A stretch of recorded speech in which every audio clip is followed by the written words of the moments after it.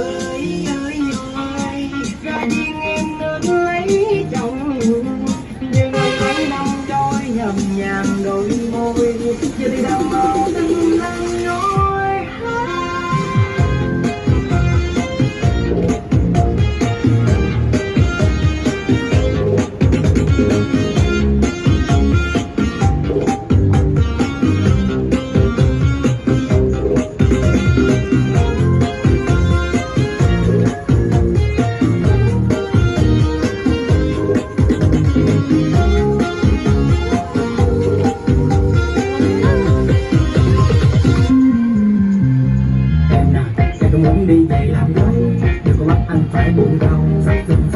no.